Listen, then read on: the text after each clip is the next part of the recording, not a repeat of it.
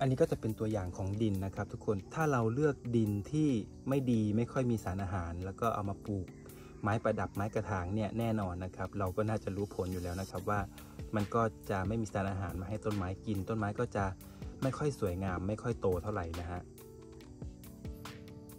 สวัสดีเพื่อนๆทุกคนนะครับกลับมาพบกับซันอีกแล้วนะครับ กับช่อง Sunny Plants นะครับ ซันเคยพูดไปว่าเดี๋ยวจะทำคลิปรีวิวต้นเอ้ยรีวิวดินนะครับสำหรับการปลูกบอนสีให้ทุกคนได้ดูกันนะครับ หรือว่าเอาไปปลูกไม้กระถางไม้ประดับอื่นๆ ก็ได้นะที่เป็นในรูปแบบของไม้กระถางนะครับ เดี๋ยวเรามาดูกันนะครับว่าในเนื้อหามีอะไรบ้างนะฮะเพื่อเป็นการสนับสนุนซันนะครับในการทำคลิปดีๆ ต่อไปนะครับ เพื่อนๆก็อย่าลืมกดติดตามกดกระดิ่งตรงนี้ได้เลยนะครับ ตรงนี้นะครับก็จะเป็นตัวอย่างดินแต่ละบริษัทนะ ดินแต่ละถุงที่มันขายตามร้านเกษตรนะครับ ผมก็มีตัวอย่างนะฮะอยู่ 4 อย่างนะครับ ก็จะมีดินตัวนี้ก็คือเป็นแกลบเผานะครับ เป็นดินแกลบเผานะ ส่วนอันนี้เขาเขียนบนถุงว่าเป็นดินมูลค้างคาวนะครับ แต่ก็รู้สึกคล้ายๆ กับดินแกลบเผาเลย มีความมีความร่วนแบบเหมือนคล้ายๆ ดินแกลบเผานะฮะเนี้ยแต่ว่ามันโดนฝนโดนอะไรมันก็เลยเปียก ส่วนอันนี้ก็จะเป็นดิน ร่วนที่ผสมกับพวกขุยมะพร้าวนะฮะ อันนี้คือดินที่เราใช้อยู่ปัจจุบันนี้นะครับ พวกอื่นเนี่ยไม่ได้ใช้แล้วนะฮะ แต่ว่ามันคือมันใช้ไม่หมด เราก็เลยเอามารีวิว อันนี้ก็จะเป็นดินแดงนะฮะ ดินแดงก็มีบรรจุถุงขายนะ แต่ว่าดินแดงเนี่ยก็ ก็มีในบางเรื่องที่ที่สวนบอนสีเขาเอามาใช้เหมือนกันนะ เดี๋ยวจะเล่าให้ฟังนะฮะ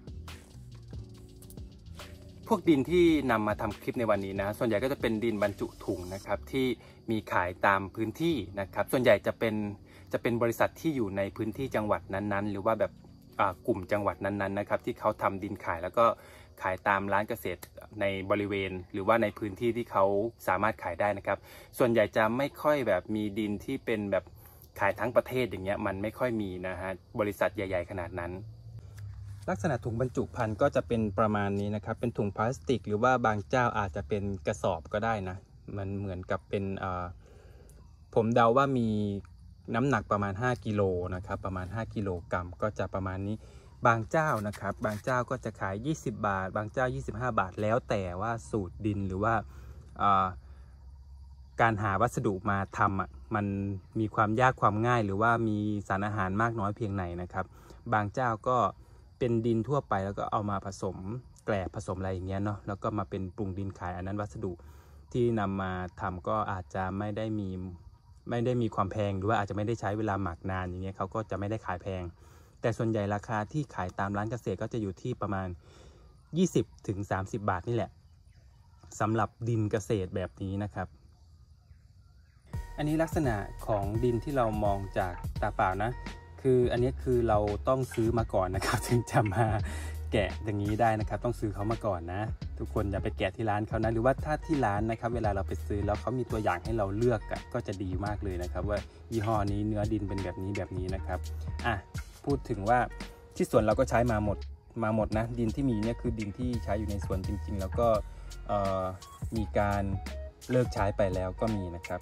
สำหรับสูตรดินที่เราเคยใช้นะครับ แล้วมันไม่ค่อยเวิร์กนะก็คือตัวนี้นะฮะอันนี้เหมือนเป็นดินแกบเผานะครับ พอดูมากๆแล้วมันเหมือนแกบเผาเกือบร้อยเปอร์เซ็นต์นะแต่คิดว่ามีดินผสมอยู่นะฮะอันนี้มันมันปลูกไปแล้วมันไม่ค่อยสวยงามนะฮะเอาเอามาผสมกับใบก้ามปูไปแล้วแบบ มันซุยมาก เวลาเอากระถางตั้งลงไปในในตู้บอลอย่างเงี้ย ดินพวกนี้ก็ล่วงไปหมดเลย ดินซุดหมดเลยนะฮะ แต่ว่าจริง ๆ แล้วการเลี้ยงบอลสีเขาก็จะใช้ไอ้ใบก้ามปูมากกว่าดินอยู่แล้วแหละเนาะแต่ว่าตัวเนี้ยเราก็มีต้องต้องมีดินมาเชื่อมใบก้ามปูนิดหนึ่งอะฮะตัวนี้ไม่เวิร์กนะครับสำหรับสวนเรานะไม่ใช่ว่ายี่ห้อเขาไม่ดีนะเขาอาจจะไปปลูกกับต้นไม้ชนิดอื่น แล้วก็ดีงามก็เป็นไปได้นะครับ อันนี้เราไม่ได้พูดถึงยี่ห้ออยู่แล้วนะเราพูดถึงเนื้อดินข้างในนะสำหรับดินแกลบเผานะเราไม่ค่อยโอเคกับสวนเรานะครับในการปลูกบอลสี มาตัวต่อมานะฮะตัวต่อมาก็จะเป็นดินมูลค้างคาวนะครับ ดินมูลค้างคาวเนี่ยผมคิดว่ายังยังไม่ค่อยโอเคเท่าไหร่ เพราะว่าจริง ๆ แล้วเนื้อเขาอะเนื้อเขาจะคล้าย ๆ กับอันนี้คล้าย ๆ กับดินแกบเผานะฮะต้องมีส่วนผสมของแกบเผาแน่นอน แล้วก็มีส่วนผสมของมูลค้างคาวนะครับอยู่ในดินมูลค้างคาวนะไม่งั้นคงไม่เรียกว่าดินมูลค้างคาว ไม่ได้มีกลิ่นเหม็นอะไรนะดินทั้งหมดไม่ได้มีกลิ่นเหม็นนะครับ คือ พอเราใช้ไปแล้วมันก็ รู้สึกว่ามันไม่ไม่ค่อยอุ้มน้ำเท่าไหร่นะเนี่ยอันนี้สองอันนี้ไม่ค่อยอุ้มน้ำคือวันเดียวก็แห้ง แห้งแบบแห้งแบบเหมือนเป็นขุยแป้งเลยอะแห้งแบบเหมือนขุยแป้งไปเลยนะฮะประมาณนั้นเวลาเขาแห้งแล้วเขาก็จะเป็นอย่างนั้น ก็เลยรู้สึกว่าไม่เหมาะกับการเอามาปลูกบอนสีนะครับอาจจะเหมาะกับการปลูกไม้ชนิดอื่น ซึ่งผมอาจจะไม่มีความรู้ตรงนั้นนะครับ ดินมูลทั้งคาวนะฮะดินตัวต่อมานะครับก็จะเป็นดินล้วนที่ผสมกับใยมะพร้าวนะฮะอันเนี้ยดูนะทุกคน จะบอกว่าตัวนี้แหละคือดินที่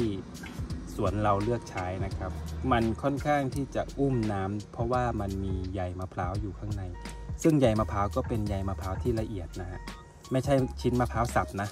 เป็นใยมะพร้าวที่ละเอียดนะครับเนี่ย แล้วก็ผสมกับดินดินที่คล้ายๆ จะเป็นสีดำนะครับ ไม่แดงนะเนี่ยออกแบบพอผสมกันแล้วมันจะออกเป็นน้ำตาลน้ำตาลนะซึ่งดินตัวนี้นะครับ เท่าที่ผมได้ปลูกมาแล้วก็ดูการเติบโตของต้นไม้ถือว่าดี ถือว่าดีเลยแหละนะครับ ต้นไม้โตสวยงามนะฮะยิ่งเรามาผสมกับใบก้ามปูเนี่ยยิ่งสวยงามมากขึ้นนะครับ อันนี้ยังใช้อยู่นะ แล้วก็เป็นดินที่เราเลือกใช้อยู่ตลอดราคาสูงกว่า 3 ตัวนี้นะฮะราคาสูงกว่า พวกนี้ถุงละ 20 บาทไอ้ดินมูลข้างคาวก็ 25มั้งนะฮะดินมูลข้างคาวก็ 25 ตัวนี้ก็ 25 บาท กระสอบหนึ่งนะถุงหนึ่ง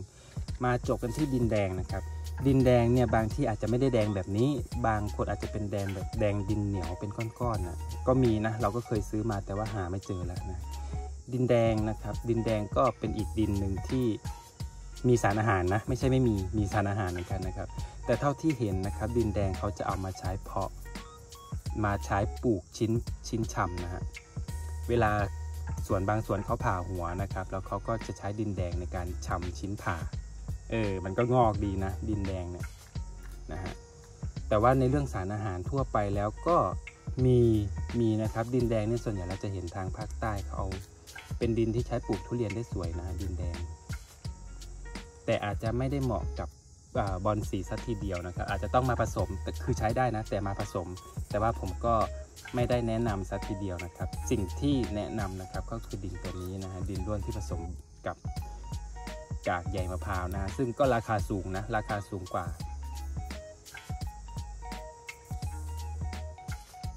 พอได้ดูการวิเคราะห์ดินของผมนะครับ ทุกคนก็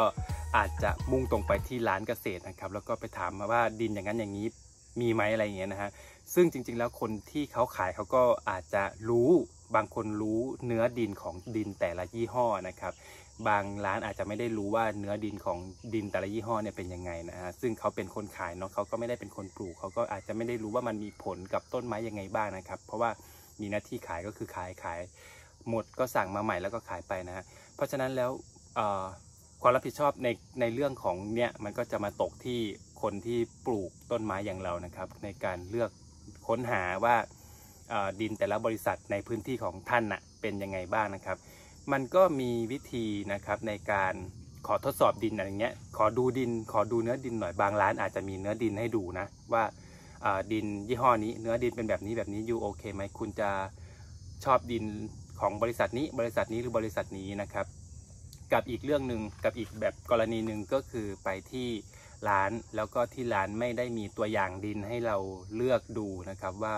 เราอยากจะได้เนื้อดินประมาณนี้นะครับ ดูจากตาเปล่านะฮะแต่เขาไม่มีให้เราเลือกดู สิ่งที่เราจะต้องอาจจะต้องแบบทำก็คืออาจจะต้องซื้อดินที่มีในร้านนะฮะสมมติว่าเขามีดินอยู่ 3 ยี่ห้อ 4 ยี่ห้อ เราอาจจะต้องซื้อยี่ห้อละหนึ่งกระสอบนะครับ เพื่อที่จะ เอามาดูนะครับว่าเป็นเนื้อดินแบบไหน แล้วก็เอามาทดลองปลูกก็ได้นะบางที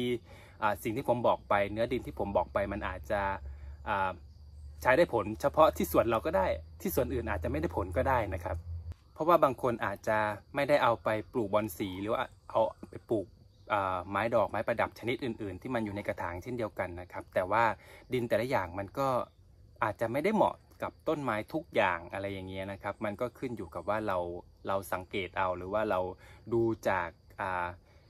ข่าวสารงานเกษตร ว่าดินชนิดไหนเหมาะกับต้นไม้ประเภทไหนนะครับ ก็ทดสอบเอานะครับ ทุกอย่างนะมันไม่สำหรับผมมันไม่ได้มี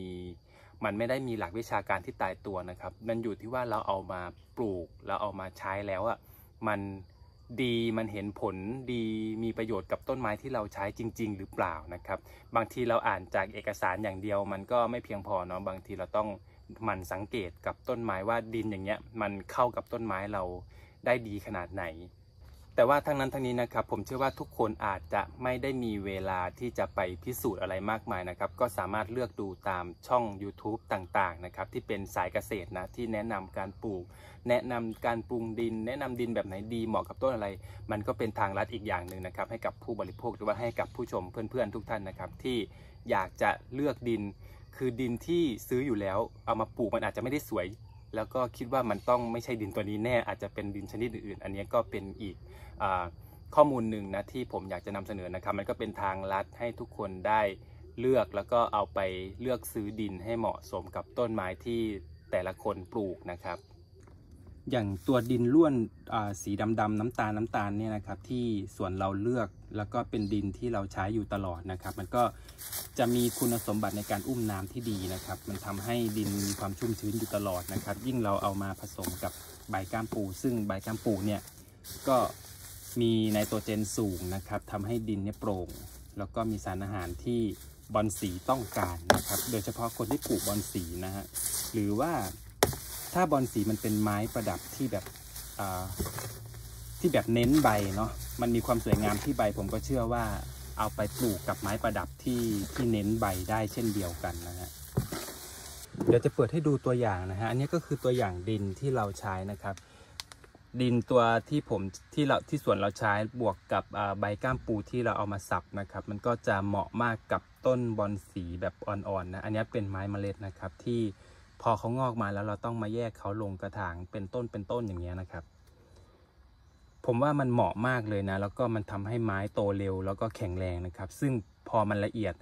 หนึ่งมันมีส่วนของดินที่ละเอียด แล้วก็สองมันมีใบก้ามปูที่เริ่มย่อยสลายได้ง่ายขึ้นนะครับ มันก็คายธาตุอาหารออกมาในดินได้ง่ายขึ้นทำให้ต้นไม้นะครับ ดูดซึมธาตุอาหารได้ ได้แบบรวดเร็วอะ มันก็เลยทำให้ต้นไม้อ่อนๆพวกนี้โตไวมาก เดี๋ยวเรามาสรุปท้ายคลิปกันหน่อยนะครับในการเลือกดินที่จะเอามาปลูกต้นไม้หรือว่าปลูกบอนสีนะครับมันก็จริง ๆ แล้วอะดินทุกอย่างมันก็น่าจะเหมาะกับต้นไม้แต่ละอย่างนะไม่ใช่ว่าดินตัวหนึ่งจะเหมาะกับต้นไม้ทุกชนิดมันเป็นไปไม่ได้นะครับ ต้นไม้แต่ละชนิดมันไม่ได้ชอบดินที่เหมือนกัน เพราะฉะนั้นมันก็อยู่ที่การสังเกตหรือว่าการทดลองนะครับ อย่างที่ของเราก็ทดลองมาจาก ไม่ได้ทดลองหรอกเราไปเลือกซื้อดิน มาเราก็ไม่รู้เราซื้อมาใช้ซื้อมาใช้อะตัวนี้ไม่ work เปลี่ยนยี่ห้อใหม่ดูซิยี่ห้อนี้ไม่โอเค เปลี่ยนยี่ห้อใหม่ จนเราได้ยี่ห้อที่มันโอเคกับต้นไม้ที่เราปลูกอยู่ หรือว่าบอนสีที่เราปลูกอยู่นั่นเองนะฮะ ราะฉะนั้นแล้วนะครับทุกคนอาจจะไม่มีเวลามาทดลองนะครับ ก็สามารถดูคลิปนี้แล้วก็นำไปเลือกใช้เลือกซื้อดินที่มันมีลักษณะตามที่ซันได้บอกไปนะครับ ว่ามันเหมาะสมกับบอนสีนะครับ แต่ถ้าใครอยากจะพิสูจน์หรือว่าอยากจะทดลองก็สามารถหาซื้อได้เรื่อยๆนะครับ ว่าดินแต่ละอย่างนั้นนะฮะมันเหมาะสมหรือเปล่านะครับ แล้วก็เอามาแชร์กันได้นะครับ เผื่อว่าใครที่ใช้ดินแบบอื่นอยู่นะฮะ สำหรับเพื่อนๆคนไหนนะครับที่อยากจะให้ท่านซันนะทำคลิปอะไรต่อไปนะครับก็สามารถเขียนคอมเมนต์ไว้ได้นะครับเดี๋ยวซันจะมาไล่อ่าน บางคอมเมนต์ก็ตอบทัน บางคอมเมนต์ก็ตอบไม่ทันนะครับ เพราะว่ามันก็มีทั้งงานในในงานขายนะครับ การทำเพจ การทำแบบอย่างอื่นด้วยนะฮะติดต่อลูกค้าอะไรอย่างเงี้ยนะครับมันก็มีความยุ่งอยู่ประมาณหนึ่งนะครับสำหรับคนที่ทำสวนนะ เพราะว่าเราติดต่อหลายช่องทาง เราก็อาจจะไม่ค่อยได้อัพคลิป ช่วงนี้ห่างๆการอัพคลิป เพราะว่า มันมีการส่งสินค้าหรือว่าการขายของการขายต้นไม้การขายบอนสีของซันเนี่ยมันค่อนข้างที่จะทำเรื่อยๆนะครับมันก็เลยไม่ค่อยได้มาทำคลิปเท่าไหร่นะฮะแต่ทุกคนก็คอมเมนต์ได้นะครับอยากจะให้ซันทำคลิปประมาณไหนนะครับเดี๋ยวจะทำให้นะครับขอบคุณทุกคนนะครับที่ติดตามรับชมคลิปนะครับแล้วก็อย่าลืมนะครับกดติดตามช่องของซันด้วยนะครับสำหรับผู้ชมคนใหม่นะฮะไว้มาพบกันใหม่ในคลิปหน้านะครับสำหรับคลิปนี้ต้องสวัสดีนะครับ